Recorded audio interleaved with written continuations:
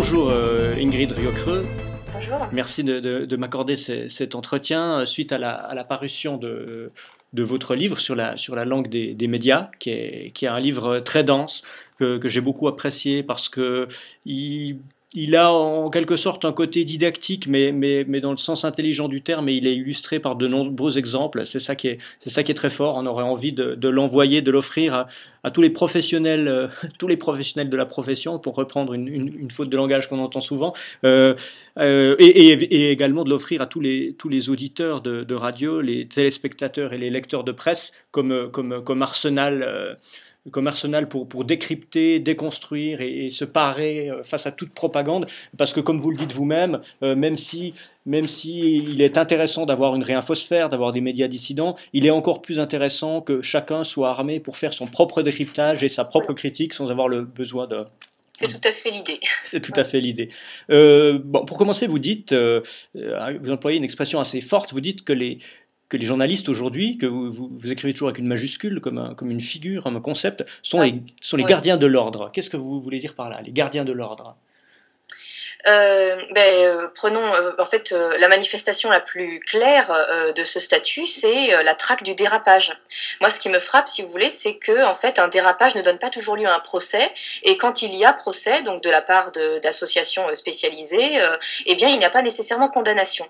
Donc en fait, le dérapage, quand on dénonce un dérapage, on, est, on dénonce un écart par rapport à une ligne de pensée implicite dont il est illégitime théoriquement de s'éloigner. Et ce type de procès est typiquement un procès médiatique. C'est un procès qui est mené par les journalistes euh, et qui permet en fait de rappeler les gens à l'ordre, de rappeler, disons, les, points du dogme officiel euh, qui, doivent être validés par la pensée commune.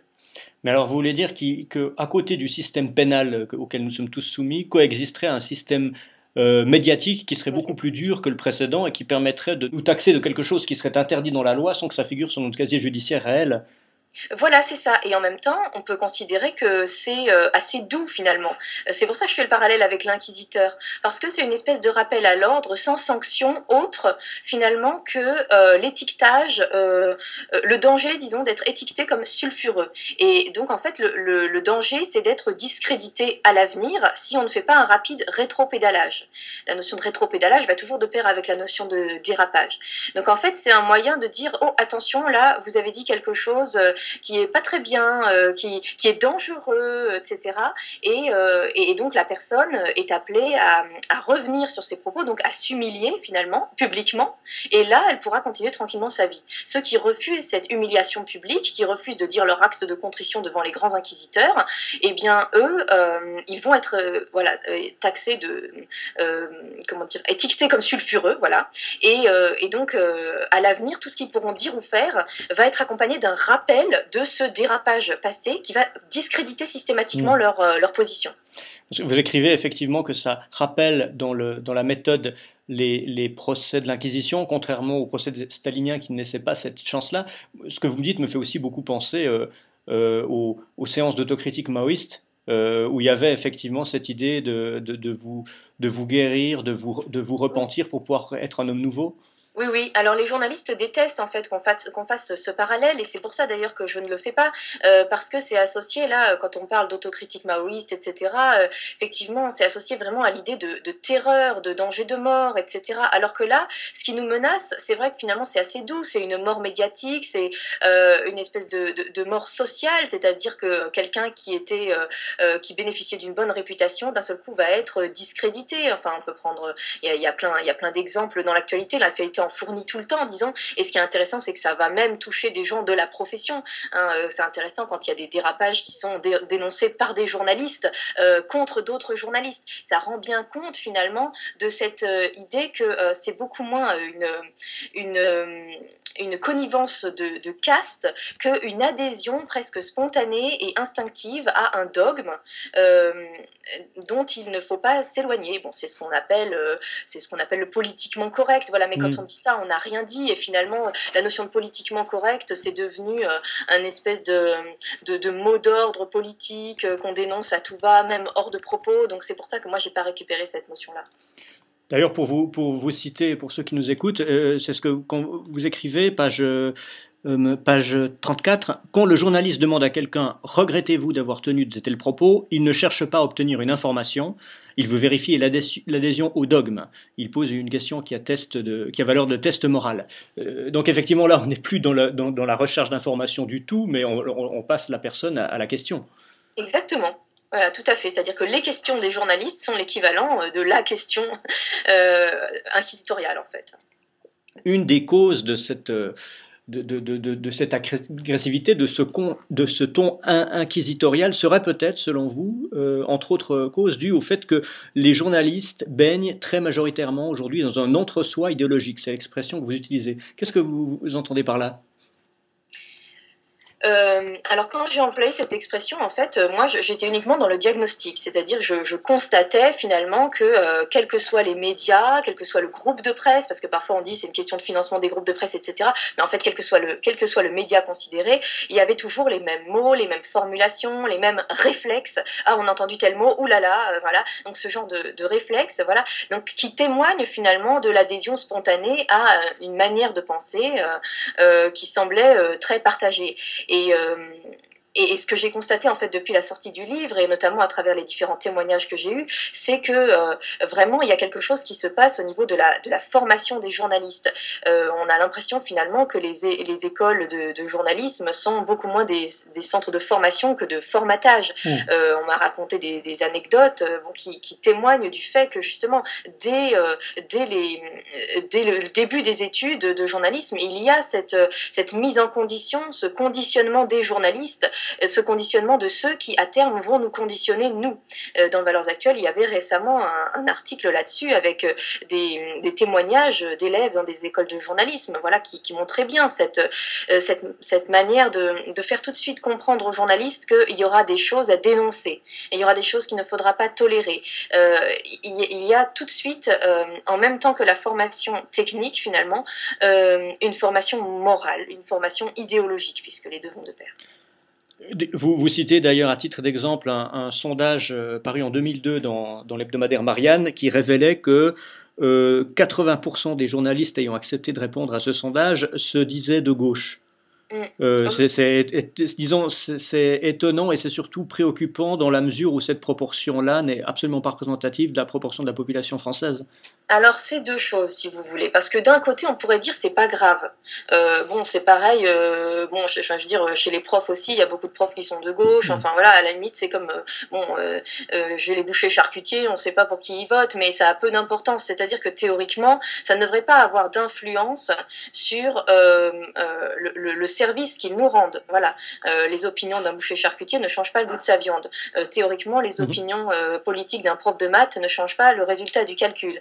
Donc théoriquement, les, les, opinions politiques d'un journaliste ne devraient pas influer sur le réel, si vous voulez, comme il est là pour nous rapporter le réel, pour nous dire ce qui se passe dans le monde. Donc théoriquement, ça ne devrait pas avoir d'importance. En fait, ça va influer très fortement dessus, mais je trouve qu'il est peu, comment dire, finalement peu intéressant de dire que les journalistes sont de gauche. Voilà. C'est-à-dire que, bon, déjà, en plus, on est dans un monde où ces notions-là, de droite, de gauche, euh, sont sans cesse remises en cause. On ne sait plus tellement ce que ça veut dire. On n'arrive pas à se reconnaître, finalement, soi-même dans tel ou tel camp. Donc, euh, dire qu'ils sont de gauche, ça ne dit pas grand-chose. Moi, ce que j'ai essayé de montrer, c'est que finalement, il y a une espèce de pensée euh, spécifique des médias sur tous les grands thèmes d'actualité une manière de réagir à l'actualité, une manière de traiter ces thèmes. Et euh, quand je dis que c'est spécifique aux médias, c'est vraiment qu'on euh, a l'impression qu'en dehors du monde médiatique, euh, il, n'y a pas spécifiquement tel groupe de pensée, tel euh, parti politique qui pense comme les médias. Si vous voulez. Il, donne une, une ligne de pensée qui n'est pas identifiable de manière parfaite et complètement adéquate avec l'idéologie de tel ou tel champ politique. Donc l'expression de classe médiatique qu'on emploie parfois mais que les journalistes n'aiment pas euh, a quand même un sens. Tout à fait. Ça, c'est beaucoup plus probant, oui. Et moi, ce que je trouve assez fascinant de ce point de vue, c'est qu'ils acceptent, alors pour diverses raisons, hein, mais ils acceptent cette pratique euh, de, du copier-coller de dépêche AFP. C'est-à-dire que, bon, je sais bien, ils l'ont expliqué, hein, depuis j'ai eu l'occasion de parler avec des journalistes, ils me disent on n'a pas le temps. Donc on n'a pas le temps. Donc là, on reçoit une dépêche AFP, donc on va la mettre en ligne. Bon, on va mettre un titre. Euh, euh, parfois, on change le titre qui a été donné par l'AFP. Bon, on va mettre une phrase en inter, une illustration. Voilà, mais on n'a pas le temps. Donc, euh, eh ben, moi, je trouve ça quand même assez révélateur qu'ils acceptent de mettre en ligne, de, de, recopier par bout ou en totalité des dépêches AFP, sans, sans se dire peut-être que je peux dire la chose mieux, peut-être que je peux la dire autrement, peut-être que je peux la dire avec moins de parti pris ou avec un autre parti pris. Et finalement, cette idée que finalement, voilà, quand on reçoit la, dépêche AFP, le travail est fait, ça montre bien qu'ils sont, euh, ils sont dans une adéquation immédiate et spontanée à ce qu'a dit le collègue. C'est ce que vous appelez d'ailleurs le syndrome AFP, c'est le syndrome du copier-coller, bon, qui peut s'expliquer effectivement sur le plan idéologique dont vous parlez. Après, sur un plan plus pratique, euh, l'urgence, les restructurations, c'est un petit peu comme la disparition des correcteurs. Il y a, il y a aussi une, peut-être une explication beaucoup plus matérielle, bassement matérielle de ce problème-là. C'est ce qu'il s'évertue à me dire, et je peux bien les croire, hein, effectivement. Hein, je, comprends tout à fait. Mais, euh, mais ça n'empêche pas quand même de s'interroger sur le fait que ça ne soit pas dénoncé par les principaux intéressés, par exemple. Cette classe médiatique, euh, le fait qu'il y ait quand même une une, certaine unité ou du, moins une, majorité très nette en faveur de certaines options. Euh, vous l'expliquez donc par le formatage des écoles, parce qu'on va dire qu'il y a un déterminisme, il y a, un corporatisme dans la classe des journalistes, qui n'est pas un corporatisme de classe au sens social, parce que c'est, enfin, pas du tout réductible à ça. Euh, quelque part, le, seul point commun, le seul, euh, le seul vecteur qu'on pourrait expliquer pour cette unanimité, c'est la corporation elle-même, c'est-à-dire les écoles et la, formation professionnelle, ou y en aurait-il un autre? Moi, je crois que ça joue beaucoup cet effet finalement de pression de groupe. Et ça s'explique d'autant mieux que d'autres euh, groupes idéologiques ont complètement déserté la profession. Mais là encore, c'est ce qui se passe aussi pour les professeurs. C'est-à-dire que vous prenez euh, bon, les gens de droite, ils vont être les premiers à taper sur les journalistes, sur les profs, en disant ouais, ils sont tous de gauche, ils nous formatent, etc. Mais en même temps, ils veulent pas que leurs enfants fassent des, des, écoles de journalisme. Ils veulent pas que leurs enfants deviennent euh, prof, professeurs. Donc finalement, ils, ils entretiennent cet entre-soi idéologique. Ça se fait tout seul. Euh, il, y a une espèce de, bain qui est euh, qui n'est jamais perturbé par rien, par aucun élément extérieur. Voilà, Donc euh, au final, la pression de groupe, elle se, elle se fait par l'entre-soi idéologique qui, qui demeure, que personne ne, remet en cause. C'est-à-dire que quand on, on va tendance à, avoir tendance à, choisir le métier de journaliste quand on est plutôt de tendance progressive, J'imagine que c'est un cercle vicieux parce qu'une fois que, que le milieu est gagné par le conformisme, évidemment, quand on n'a pas ces idées-là, on n'a pas tellement envie de s'y aventurer parce qu'on se dit qu'on n'y aura pas d'avenir et qu'on ne pourra pas faire entendre sa voix. Euh, quand ça devient de l'entrisme, de faire un métier ordinaire, c'est pas très encourageant. Et évidemment, évidemment. Alors ce qui est intéressant aussi, c'est que ça leur interdit euh, à, eux euh, tout, tout, tout, écart par rapport à la pensée du groupe, si vous voulez. C'est ça quand, quand Maïtena Biraben, quand Jean-Pierre Pernaud, etc., sont, sont accusés de déraper, ah euh, quand même, c'est des gens qui sont vraiment dans le système. Euh, seulement, à un moment donné, euh, ils vont dire une chose comme il fallait pas, enfin, ou ils vont émettre une opinion peut-être un peu plus nuancée, etc. Et là, hop, toute la profession leur tombe dessus. Vous avez dit dans ces écoles, on, leur enseigne qu'il y a des choses qu'il ne faut pas laisser passer, qu'il y a des choses qu'il faut dénoncer, ce qui est pas, ce qui est un travail davantage de prescription que, que, d'information.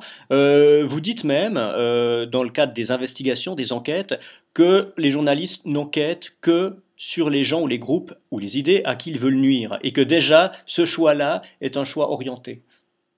Ben oui, oui, ça c'est assez frappant. Euh, il y a un certain nombre de sujets bon, qui tournent tout le temps et, et qui sont des sujets autorisés. Quoi.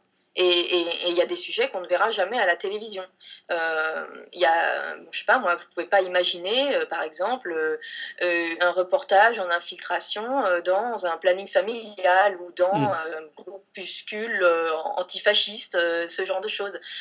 par contre, un petit groupe néo-nazi, là, c'est intéressant. Par contre, des militants anti-avortement, là, c'est intéressant.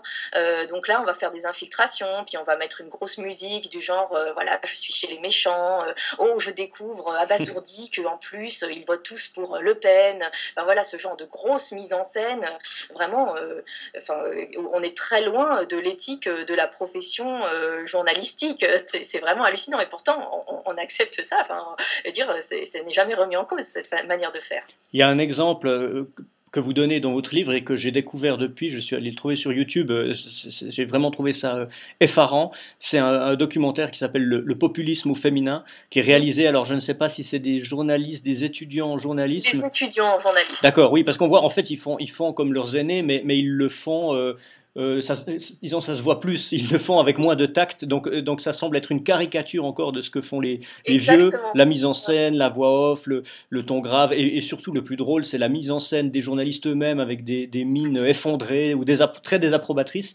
C'est vraiment un cas d'école, ça. Ah oui, oui, oui, ça, il faut, il faut le regarder, effectivement, euh, tout, tout est là. Hein. C'est vraiment... le, nanar du, du journalisme télé. Euh, et comme vous dites, c'est caricatural. Pour reprendre aussi une des expressions que vous utilisez, vous opposez euh, l'éthique du vrai, qui devrait être une éthique journalistique ordinaire, à ce qui serait aujourd'hui l'éthique du bien, donc une forme plus, plus moralisée. Qu'est-ce que, sur quoi repose cette opposition? Eh bien disons que là, on n'est même plus dans l'orientation, on glisse presque vers la manipulation. C'est-à-dire qu'au nom de ce qu'ils appellent leur éthique de la responsabilité, ils vont consciemment, euh, donc là je parle de, la, manifestation la plus caricaturale finalement de cette substitution de l'éthique du, bien à l'éthique du vrai, on va consciemment euh, dissimuler euh, des faits ou en, disons, en atténuer la, diffusion. On peut penser évidemment aux agressions de Cologne à la Saint-Sylvestre de l'année dernière. On peut, on peut penser aussi euh, à cet exemple, je donne plusieurs exemples de ce genre dans le livre, c'est quand, quand on change ou quand on dissimule le nom euh, d'un assassin, mm. par exemple. Euh, voilà, je donne l'exemple, bon, c'est un exemple que je donne souvent, mais je trouve qu'il est pédagogiquement très, très parlant. L'assassinat du, jeune Hakim au Kremlin Bicêtre par un, c'était en, 2010, je crois, par son camarade qui s'appelait Islam. C'était le prénom du jeune garçon. Il s'appelait Islam. Hmm. Il n'a pas choisi son prénom, si vous voulez. Mhm. Cette information en elle-même, elle n'a pas de valeur. Voilà. Et ce qui s'est passé, c'est que les journalistes se sont dit, très manifestement, parce que moi je, prouve, hein, exemple à l'appui, que personne ne veut donner le nom de cet assassin, ou alors on va l'orthographier autrement, ou alors on va faire des détours, on va faire des périphrases, etc. Voilà, l'idée c'était, non, si on dit que l'assassin s'appelle Islam, euh, voilà, Madame Michu, qui a quand même une grosse tendance islamophobe et raciste, euh, bah, ça, va, ça va apporter du, euh, comment dire, de l'eau à son moulin. donc on va pas donner le nom de l'assassin. et évidemment, c'est contre-productif au possible, puisque ce qui se passe, c'est que sur la toile, tous les sites de tendance euh, identitaire euh, vont euh, reprendre l'information, dire regardez, on vous cache que l'assassin s'appelle Islam, on insiste sur le fait que la victime s'appelle Hakim, donc vous avez un, arabe en position de victime, mais on vous dit pas quel est le nom de l'assassin, voilà, et au final, c'est totalement contre-productif et, ça, apporte énormément pour la crédibilité de toute la médiasphère alternative que contre laquelle les grands médias, justement, nous mettent tout le temps en garde. Donc, ce genre de pratique euh, qui, se poursuit. Je donne plusieurs exemples dans le livre. C'est un truc assez systématique. Ce genre de pratique euh, témoigne de, cette, de ce choix qui est fait d'anticiper notre réaction. C'est-à-dire qu'au moment où on nous donne l'information, on anticipe la manière dont nous, qui sommes chargés de préjugés, qui sommes rétrogrades, etc., le peuple, quoi, euh, la populace, la gueusaille, nous, nous allons mal réagir. Donc, on, on anticipe cette manière dont nous allons supposément réagir. Et en fonction de cela, on va nous donner l'information ou ne pas nous la donner.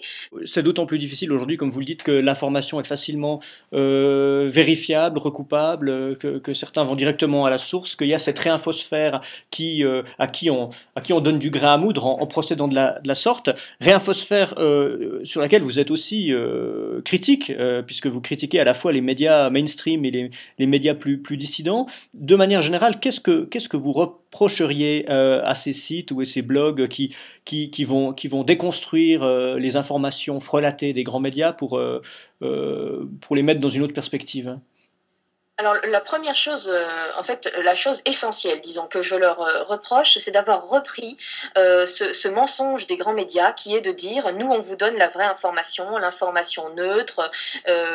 ils nous donnent encore cette illusion que nous, à travers eux, on est en contact avec la vérité, avec le réel tel qu'il est. Ça, c'est déjà ce que j'appelle le mythe de l'objectivité des grands médias, qui est vraiment cultivé dans les, les masses médias et qu'on va retrouver finalement dans la réinfosphère. donc dans ils reprennent finalement ce, couplet qui est très mensonger, qui consiste à dire on peut donner une information objective et nous on vous la donne, alors que tout le monde vous ment.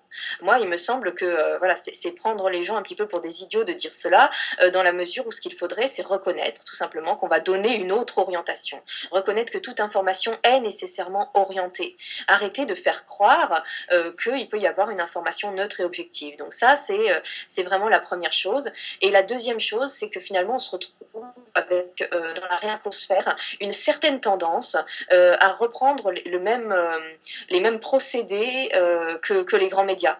C'est-à-dire que sous prétexte qu'on est dans le camp du bien, voilà, c'est-à-dire qu'on va se présenter soi-même comme le camp du bien, tout comme les grands médias aussi se mm. présentent comme le camp du bien, voilà, on va finalement entrer dans un mimétisme total vis-à-vis -vis des grands médias. Donc on va dénoncer la christianophobie, la catophobie, parce qu'on veut lutter contre ceux qui dénoncent systématiquement l'homophobie, l'islamophobie. Mm. Donc on, reprend ce genre de termes très contestables.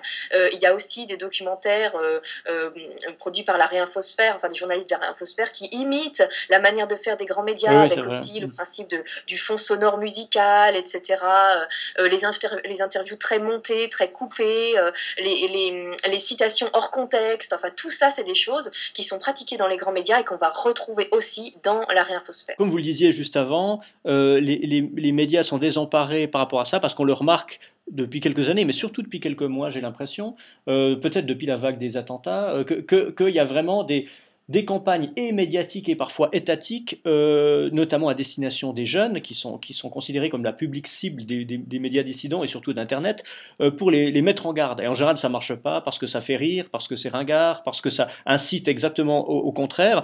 et en général, c'est ce qu'on appelle des campagnes anti, anti-complotistes. Et vous dites, à, juste titre, je pense, que que même si cette communication est, fallacieuse et que ces campagnes sont très orientées par le, bah, par, le système, en gros, il n'empêche que le, complotisme est souvent une, forme de paresse. Est-ce que vous pouvez illustrer cette idée? En, quoi est-ce que,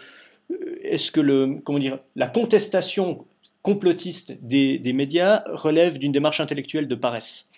Euh, mais ça, euh, c'est tout simplement parce que le complotisme, en fait, euh, c'est une thèse qu'on va pouvoir appliquer systématiquement et qui va nous servir de réponse à tout.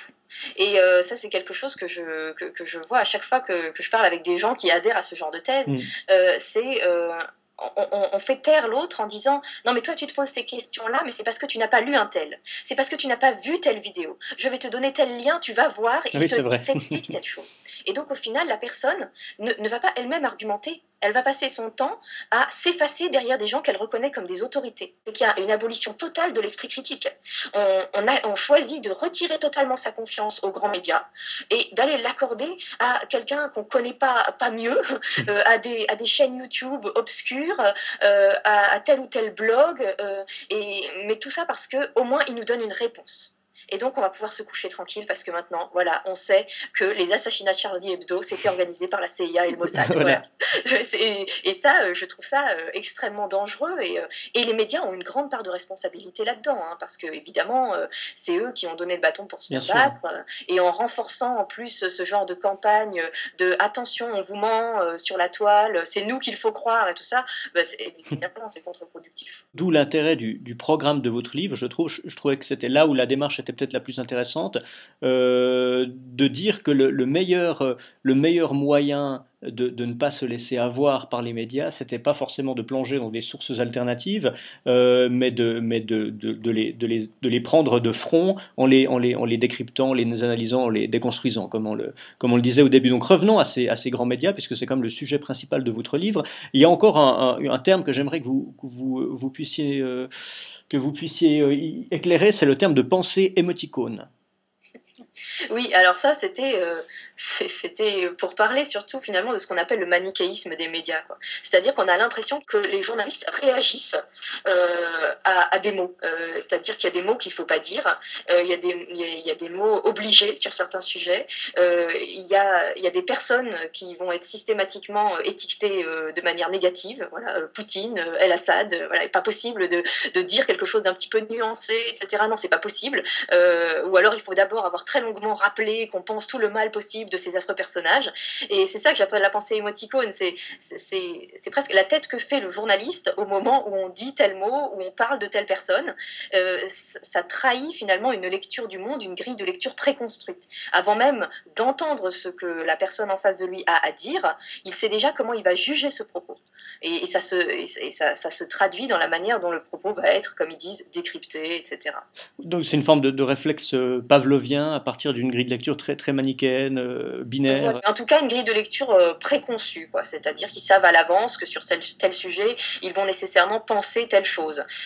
et ce sera très difficile de, de les faire bouger. J'avais donné l'exemple juste à présent de, de, Poutine, qui euh, là aussi, il y a une accélération de la poutinophobie médiatique depuis l'élection de Trump, depuis la, la sélection de, de, Fillon aux primaires de droite et d'autres événements de ce genre. Euh, au moment où votre livre est sorti, donc avant, vous avez déjà euh, mis en parallèle deux événements qui ont été traités de manière complètement distincte, et ça a un rapport avec ça, c'est les manifestations de Maïdan en Ukraine et le jour de colère en France, en, en disant qu'objectivement, il y avait sans doute des points communs entre ces deux contestations-là, mais qu'elles ont été traitées de manière euh, complètement euh, opposée. Hein. Oui, oui, effectivement. Euh, donc, c'est-à-dire que là-bas, euh, dans la rue, il y avait, euh, on l'a su après, effectivement des groupes néo-nazis qui étaient impliqués dans la contestation. Et, et, et, donc, le, gouvernement là-bas avait dénoncé donc des agitations de jeunes d'extrême droite, etc. Et, les, nos médias ont rapporté la chose en disant que selon le gouvernement, il s'agissait de jeunes d'extrême droite. Enfin, il, il cherchait à montrer finalement que c'était un mensonge euh, liés à la propagande euh, du gouvernement euh, là-bas. Alors que ici, chez nous, le jour de colère, c'était bien sûr objectivement des affreux d'extrême droite et il n'y avait pas du tout cette prise de distance vis-à-vis, par exemple, d'accusations portées par les membres du gouvernement. Que c'était Manuel Valls à l'époque qui avait fortement condamné le, le, mouvement jour de colère avec toujours de genre de d'anathèmes euh, caricaturaux, euh, nazis, euh, fascistes, etc. Ça, c'était pas du tout remis en cause chez nous. Par contre, là-bas, quand il s'agissait de traiter ce qui se passait là-bas, on prenait vraiment, vraiment des pincettes un peu comme pour les, le thème des, attentats sous faux drapeau, qui sont, qui sont, euh, où, cette suspicion euh, passe sans problème si Poutine est accusé de les avoir menés, dans la guerre de Tchétchénie par exemple, mais beaucoup moins s'il s'agit, je ne sais pas, du 11 septembre ou de choses euh, liées à d'autres parties du monde. enfin, on peut dire que c'est la même différenciation critique. Oui, oui, tout à fait. C'est le même genre de choses. Et, là aussi, là aussi, on voit que finalement, euh, il y a des, domaines intouchables où le journaliste est tout à fait prêt à euh, abandonner euh, son éthique professionnelle. Euh, voilà, moi je vois pas pourquoi sur le 11 septembre on n'aurait pas le, droit, ne serait-ce que d'exprimer des, des, hypothèses d'explication, même farfelues après tout. c'est pas grave, les gens ils ont un esprit critique après, et puis et puis il faut que ça se fasse dans le cadre d'un débat, d'une controverse, etc. Mais quand il y a une omerta, quand il est impossible de dire les choses, on se dit quand même qu'il y a un problème, mais vraiment au niveau de l'éthique du journalisme. Surtout, comme, comme vous dites, hein, quand cette remise en cause de la version officielle est permise sur d'autres événements et même encouragée par, euh, par les mêmes journalistes. Là, il y a vraiment un, vraiment un problème euh, euh, d'ordre d'ordre éthique, d'ordre moral, dans, dans, dans l'idée qu'ils se font de leur propre profession.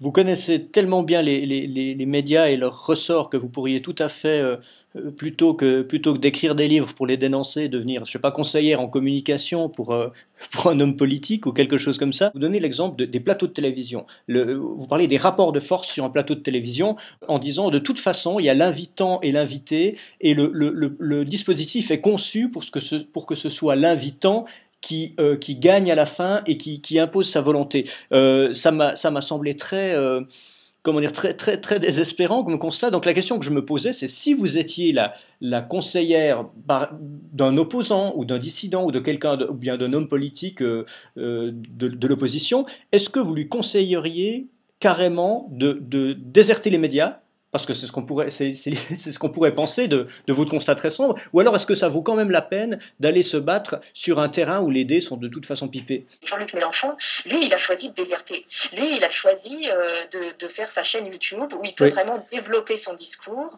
Euh, voilà, c'est ce que il y, y, a tout le problème évidemment de la mise en condition idéologique, mais vous ne maîtrisez pas votre temps. Euh, vous, vous, croyez que vous pouvez vous lancer dans une démonstration, mais on va vous interrompre, on va, sonner la fin, quoi. Ce sera le, le moment de, de passer à la publicité, par exemple. Et ça, euh, c'est quelque chose, il y a vraiment des contraintes énormes qui pèsent sur la parole, sur la parole politique notamment. Et donc de voir que quelqu'un comme Jean-Luc Mélenchon lance sa, chaîne YouTube, euh, c'est peut-être euh, c'est peut-être constater que, justement, euh, il y, a, y a un tournant euh, à ce niveau-là et que le personnel politique euh, va peut-être refuser de se mettre systématiquement, de se soumettre systématiquement au, cadre médiatique dans tout ce qu'il a de, contraignant. Parce que c'est un fait qu'on ne peut pas développer une pensée complexe sur un plateau télé. Ça, c'est des débats qui y, a, évidemment beaucoup dans tous les milieux politiques. Certains opposants vous répondraient que si vous avez une tribune, si vous êtes invité, vous auriez quand même intérêt à vous y rendre parce que s'ils veulent parler de vous, euh, ils le feront de toute façon même si vous n'êtes pas là et si vous n'êtes pas là, ce sera peut-être encore pire parce que vous n'aurez même pas la voix au chapitre. Qu'est-ce que vous en pensez? Ben oui, mais c'est un peu vrai. Et c'est là qu'on se dit qu'il y a quand même une confiscation du jeu démocratique par les médias.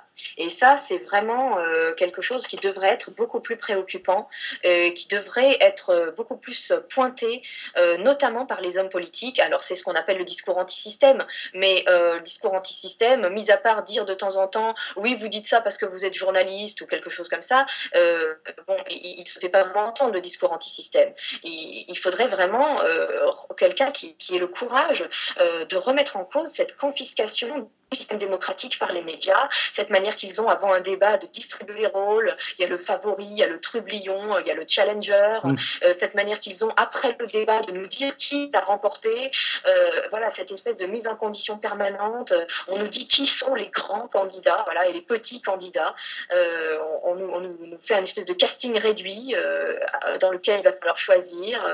Moi, je trouve que vraiment, il y a voilà, une confiscation euh, du système démocratique par les médias qui devrait être euh, beaucoup plus, beaucoup plus dénoncé et de, devrait faire l'objet euh, d'une réflexion, mais évidemment de la part des journalistes eux-mêmes aussi une, partie importante de votre livre, alors euh, qui, qui, qui, qui, touche moins les questions de fond, mais qui est, je pense, tout aussi féroce et qui m'a beaucoup intéressé, porte sur les questions euh, de langue, langue euh, écrite et, langue orale. J'ai trouvé ça passionnant parce que vous, vous postulez que le grand problème, le, le, grand problème du, du relâchement du, du, langage, du relâchement syntaxique, peut-être plus encore que, que, la mauvaise qualité de la formation, quoique on pourrait ouvrir un débat sur l'école, mais ce serait autre chose, c'est qu'il y a vraiment un désamour de la langue chez les, les les, journalistes, vous écrivez, euh, page 28, c'est parce que le journaliste maîtrise mal sa langue qu'il ne l'aime pas, et c'est parce qu'il ne l'aime pas qu'il ne voit pas d'inconvénient à parsemer son discours d'anglicisme.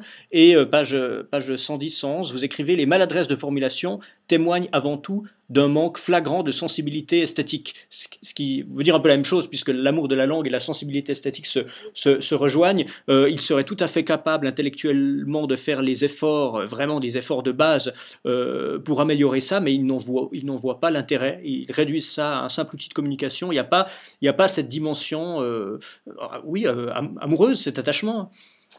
Oui, oui, oui. Alors, il faut rajouter à cela euh, quelque chose d'important, qui est que, euh, quand on est à la radio, on ne, le, on, ne le voit pas, cela. Mais la plupart de ce qu'on appelle les, papiers, etc., sont des, textes lus.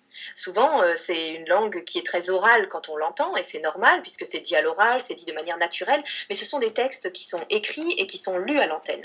Donc, théoriquement, le journaliste qui lit le papier, il, a, il a eu le temps de réfléchir au choix de la mmh, formulation. Et on se rend compte que voilà, en dépit de, de, cette, euh, préparation, euh, il y a euh, très souvent euh, des problèmes dans le choix des mots euh, ou, évidemment des problèmes qui aboutissent de manière caricaturale au problème des anglicismes. je donne l'exemple de Hollande bashing ou Sarko bashing. voilà, bashing, ça va cacher, finalement, ça va servir à, désigner tout un tas de, de désaccords, de critiques qui vont de la critique de la personne à la remise en cause de ses idées, de son bilan, etc. Non, tout ça, c'est Hollande bashing. Eh bien, voilà, en, en fait, on perd le sens de de la subtilité. Et, et, au final, ça peut être extrêmement grave parce que ça veut dire qu'on accepte un discours très simple sur le réel. Et euh, quand on accepte un discours simple, eh bien, on accepte ce qui va avec, c'est-à-dire le, manichéisme, c'est-à-dire l'absence totale de nuances. Et finalement, euh, voilà, ce que disais, je disais tout à l'heure, la pensée émoticône euh, qui va avec, c'est-à-dire que la, la, langue se trouve réduite à une espèce de machin utilitaire dont on a besoin pour faire passer l'information. Mais si on pouvait se réduire à telle chose égale bien, telle chose égale pas bien, euh, ce serait parfois euh, équivalent à peu près au discours qu'on nous sert. C'est le problème, euh, comme vous le dites, de, cette polysémie de la langue qui tend à, s'affaiblir. Bon, l'anglicisme bashing le montre bien. Vous, vous, citez des mots français aussi, comme le mot solidarité, voilà, un mot moins méchant, mais, mais mm. dont on ne sait plus très bien ce qu'il veut dire, tellement il peut avoir de, sens différents. alors là, on est dans, dans un autre cadre, c'est carrément l'affaiblissement du, du lexique, du vocabulaire. C'est ça, oui. Le mot solidarité, moi, ça me frappe toujours. C'est-à-dire qu'on a toujours l'impression qu'il euh, est mis à la place d'un mot qui aurait été plus juste. Euh, la solidarité avec euh, une famille qui a perdu un enfant, non, c'est de la compassion. La mm. solidarité dans, parmi les membres d'une équipe de, football, non, c'est de la camaraderie, c'est de la fraternité. Et surtout, le mot solidarité, il est, il est tellement froid, quoi. C'est à l'origine, c'est du vocabulaire, vocabulaire juridique, la solidarité. Donc, voilà, voir qu'on on on abandonne euh, compassion, entraide, mm. fraternité. C'est euh, quand même assez triste euh, quand on aime sa langue. Et puis là encore, ça témoigne d'un incroyable appauvrissement de la pensée, parce que ça veut dire qu'on considère que les, sentiments qu'on a pour une famille qui a perdu un enfant sont les mêmes que ceux qu'éprouvent des joueurs de foot entre eux dans un vestiaire. Ça, ça n'a rien à voir, mais on va employer le même mot. C'est quand même bizarre. Oui, de même, dans, le registre négatif, avec le, le, suffixe phobe, qui, est, extrêmement euh, niveleur et, ambigu. Alors certains vont être étonnés, euh, parmi les, défenseurs de la langue, de, voir que même si vous critiquez la multiplication des anglicismes, euh, vous tenez à, préciser que pour vous, c'est un problème secondaire. Est-ce que vous pouvez développer ce point? C'est un symptôme. C'est-à-dire que finalement, euh, si on se focalise sur les anglicismes, on ne fait pas attention à tout ce qui va avec. Euh, c'est-à-dire ce que je disais, le, fait qu'on simplifie la pensée. Donc c'est en ce sens que je trouve que l'anglicisme, euh, on y accorde trop d'importance. On ne, on ne le prend pas pour ce qu'il est vraiment, c'est-à-dire le symptôme d'un problème plus large et plus grave. Et en fait, ce que, ce que je dis dans, dans le passage où je parle des anglicismes, je vise notamment le CSA. Parce que le CSA donc, organise chaque année une, une une espèce de journée de la langue française dans les médias pour rappeler qu'il faut bien parler français dans les médias. Et à chaque fois, ce qui est souligné lors de cette journée de la langue française, c'est qu'il y aurait trop d'anglicisme dans les médias. Donc le, CSA, qui a une, une mission euh, qui consiste à veiller à la défense et à l'illustration de la langue française dans l'audiovisuel public, euh, eh bien, euh, en fait, finalement, réduit cette mission juste à la traque des anglicismes sans, sans aller plus loin. Et ce qui est intéressant, c'est ce que je, je, enfin, je relis les deux phénomènes, c'est qu'à l'inverse, euh, quand il s'agit euh, de, protection euh, idéologique de ce discours, là, le CSA réagit tout de suite. C'est-à-dire que le hmm. CSA va réagir tout de suite quand tel ou tel journaliste dérape ou laisse dire quelque chose sur son plateau. Là, là, la réaction, elle est immédiate. Et elle est beaucoup plus vigoureuse que dans le cas des, fautes de langue ou des libertés prises avec la langue française. Mais ça montre l'ordre des, des, priorités. L'ordre des priorités, exactement. Pour en revenir à la langue orale, donc celle qu'on entend à la, radio ou à la télévision, donc oui, on constate un relâchement général du langage qui est, euh, à, la, qui est à la fois dû euh, peut-être à une baisse de niveau chez les, les journalistes et un désamour de la langue, comme on le disait, mais aussi, selon vous, peut-être à une volonté un peu démagogue de, de coller à son public, avec, mais, mais, dans une vision finalement très, très condescendante pour faire peuple, comme vous dites, euh, euh, combien même, et, et, ça vous, vous en avez parlé récemment dans, dans, dans un entretien, combien même les, dans le monde politique, par exemple, les plus populistes, donc ce qui pourrait être l'équivalent sur le plan de la communication, des gens comme Jean-Luc Mélenchon que vous avez cité, ou même euh, Jean-Marie Le Pen quand il était encore dans la course, euh, ces gens qui s'adressaient souvent aux classes les plus populaires étaient paradoxalement ceux qui utilisaient la langue euh, de la manière la plus élaborée, euh, tant avec l'emploi des subjonctifs ou même des références littéraires, euh, ce qui est tout à leur honneur. Mais est-ce que c'est peut-être la différence entre démagogie et populisme d'ailleurs Mais que pensez Y a-t-il une stratégie, selon vous, enfin une tactique, une approche de communication des journalistes visant à, à, simplifier la langue euh, dans l'idée d'être mieux compris ou de, de se rapprocher d'un Mais en fait, ça, ça rejoint effectivement, euh, ça, ça, rejoint ce que je disais tout à l'heure, c'est-à-dire que de même que leur éthique de la responsabilité va faire qu'ils ne vont pas nous donner le nom d'un coupable ou ils vont pas nous dévoiler telle information, de même, euh, quand ils nous parlent, ils vont essayer de simplifier les choses au maximum, d'employer un langage qu'ils pensent correspondre à notre manière de parler. C'est ce qui va donner euh, euh, la, profusion euh, chez certains journalistes de mots bas, voilà, voire de gros mots qu'on va dire un peu en rigolant, voilà. Et, effectivement, en fait, ils se rendent pas compte que ça trahit malgré eux l'image qu'ils se font de nous. C'est assez terrible. Mais tout ça, ça va dans un système de pensée, c'est-à-dire que ça va avec l'idée que nous avons, ben, voilà, nous sommes, nous sommes le bas peuple avec ses mauvaises idées, ses mauvais penchants, ses préjugés, et en plus on parle pas très bien, bon, donc il faut se rendre accessible à nous. En même temps, il faut, euh, il faut, qu'on accepte de les écouter. Donc, il faut qu'ils aient le même langage que nous, euh, la même syntaxe que nous. Donc, euh, donc c'est pour ça que même leurs papiers écrits, finalement, ne sont pas aussi soignés qu'ils pourraient l'être. Mmh, oui, ça fait un peu penser à certains vieux humoristes euh, qui, qui, qui, singent les, les, jeunes euh, avec des caricatures euh, qui datent d'il y a 20 ans. Il y, a, un côté condescendant et, paternaliste, effectivement. Donc du coup, là, en termes de communication, on est plus proche de Sarkozy que de Mélenchon. Et donc cet, affaiblissement, cet affaiblissement du vocabulaire, cette perte, elle se traduit par une chose qui me semble assez, assez grave et que vous pointez, et qui, et qui peut donner cours euh, à des mécompréhensions et à une radicalisation euh, de, de, de, de l'échange d'idées en terrain médiatique, c'est la perte de l'ironie. L'ironie euh, est de moins en moins comprise. On est de plus en plus au premier degré. Est-ce que c'est un problème dû à la, langue, dû à la langue ou plutôt dû au, à l'évolution idéologique de, la société? Je pense que là, c'est plutôt dû à, l'évolution idéologique de la société, même si, comme je le dis dans le livre, ne pas savoir déceler l'ironie, euh, c'est aussi un défaut d'intelligence. Parce qu'en général, quand il y a ironie, il y a un effet de décalage. Euh, qui, qui, est, qui est perceptible et qui fait que justement l'ironie doit faire sourire. Euh, quand euh, quand c'était quand Dieudonné voilà disait que la décapitation c'était une grande conquête de l'humanité. En même temps, il montrait des photos de noirs décapités par des colons blancs. Mmh. Donc il y, a, il y, a, quand même il y a quand même évidemment un effet de décalage entre le discours qui est tenu, qui est caricatural, qui est complètement hyperbolique et ridicule justement dans cette exagération, et la photo qu'il donne, la photo qu'il montre en même temps. lui qui est quand même un militant de la cause noire. Mm. Or, euh, sur les grands médias, on a dénoncé Dieudonné comme vantant la pratique de la décapitation. Ce qui était quand même euh, incroyable. Ça voulait dire qu'on passait complètement à côté de, l'ironie, justement. Euh, bon, effectivement, peut-être mordante, gênante, dégoûtante, je sais pas, mais il y avait quand même un effet de décalage évident qui permettait de comprendre que son propos n'était pas sérieux.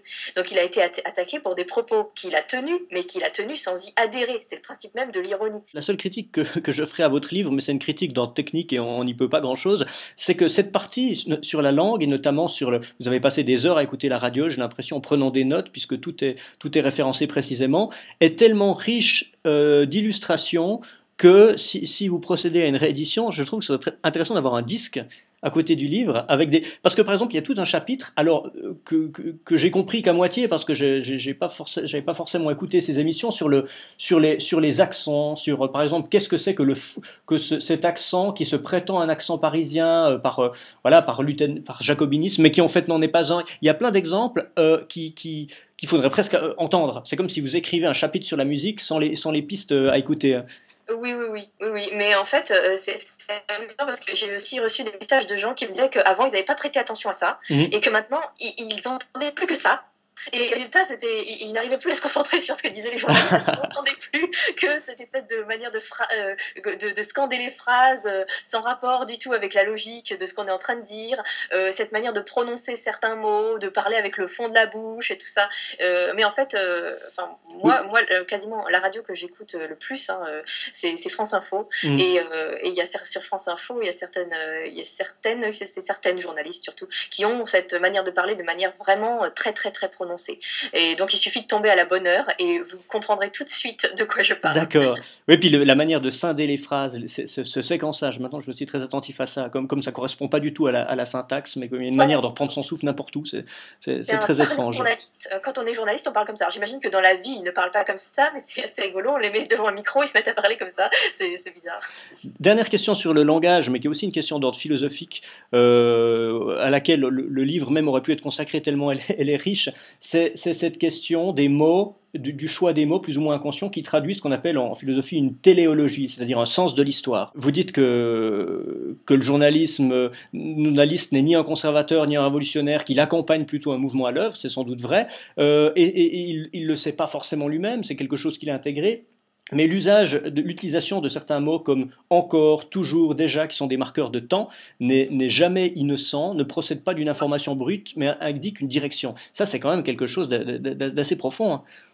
Oui, oui, et tout à l'heure, quand je parlais de dogme officiel, euh, finalement, le point le plus, euh, le plus fort de ce dogme, je crois que c'est la croyance euh, dans le sens de l'histoire qui se manifeste justement par ces petits déjà, ces petits encore. Ça, c'est assez frappant parce que ce décryptage, et là c'en est un, est imparable, mais on n'est vraiment pas sûr que ceux qui formulent ou écrivent ces, phrases y aient pensé. Pour terminer, je voudrais simplement vous faire commenter deux phrases, deux phrases de votre livre. Je vous, lis la phrase et puis vous, vous l'illustrez, vous, l'explicitez un peu. Alors la première, ça concerne la, crise des, réfugiés. Euh, et en page 275, vous écrivez La photo d'un enfant mort n'est pas informative, elle est injonctive. Donc c'est une référence à, la photo de ce petit enfant échoué sur la plage.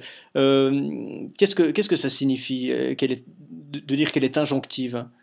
Eh bien, euh, tout simplement, à chaque fois qu'un enfant meurt, on ne vous montre pas la photo. C'est même extrêmement rare qu'on nous montre la photo du, corps d'un enfant mort, euh, ne serait-ce que par respect pour le, pour le, mort. Voilà.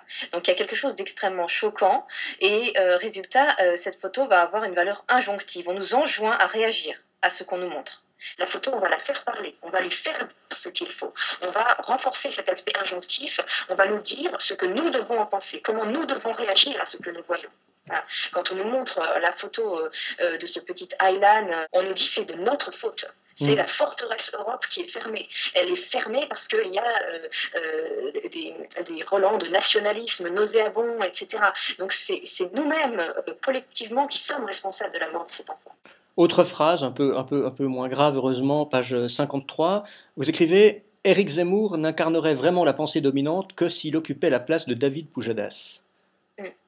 Euh, oui, on en revient un peu à ce que vous disiez tout à l'heure sur euh, le rapport entre l'invitant et l'invité. Mm. En fait, je, je, dis cela parce qu'il y a beaucoup de, de, gens qui disent mais regardez, euh, Elisabeth Lévy, Rioufol, Zemmour, Finkelkraut, on les voit tout le temps, on n'entend que. Oui, mais on les entend dans quel statut? À chaque fois, ils sont dans le statut du polémiste. Ils sont invités à répondre à des mises en accusation. Donc, ils sont pas du tout dans la position de quelqu'un qui peut exposer sa pensée. Et ils sont pas du tout dans une position de force sur le plateau. Mm celui qui est dans une position de force, finalement, c'est Pujadas. Parce qu'on se met devant lui euh, dans une situation de vulnérabilité totale. Quand on allume pour euh, voir euh, ce que Pujadas va nous dire, on, dit qu'est-ce qui s'est passé aujourd'hui? C'est-à-dire qu'on se met dans la position de recevoir le message que va nous donner David Pujadas et on n'est pas du tout sur la défensive. Alors que quand un journaliste invite Éric Zemmour en disant nous recevons le polémiste Éric Zemmour, etc., il y a toute une mise en condition de, de la réception du discours qui va être tenu sur le plateau. On n'est pas du tout dans la même euh, disposition vis-à-vis de celui qui va parler. Ingrid Riocreux, je vous remercie de m'avoir accordé ce temps. Donc je rappelle que, que, votre livre euh, est, une sorte de, de, bréviaire, enfin c'est un peu plus qu'un bréviaire, mais qui serait à conseiller euh, non seulement à tout, à tout journaliste soucieux de s'améliorer, mais surtout à, toute, à, tout, à tout consommateur de, de médias. Et parce que je rappelle que son point fort, c'est que même si le contenu théorique est assez, est assez solide. Euh, c'est euh, richement illustré euh, d'exemples. D'ailleurs, heureusement que ces exemples sont référencés parce que sinon on n'y croirait pas forcément tellement, tellement il y a des cas qui, sont, qui, sont à la limite de, de, ce qu'on peut concevoir. ça rend la, lecture, la lecture facile et, abordable. donc voilà, je le recommande à, ceux qui nous écoutent et je vous remercie. Merci à vous.